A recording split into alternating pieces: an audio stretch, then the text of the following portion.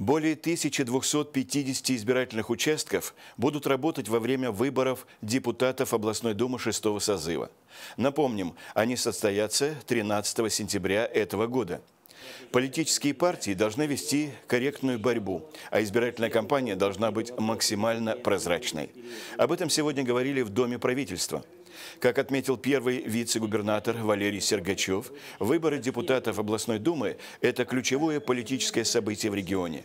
Необходимо сделать все, чтобы каждый житель области смог воспользоваться своим правом голоса. Честные и справедливые выборы – главная цель, которой сегодня стремятся региональные власти.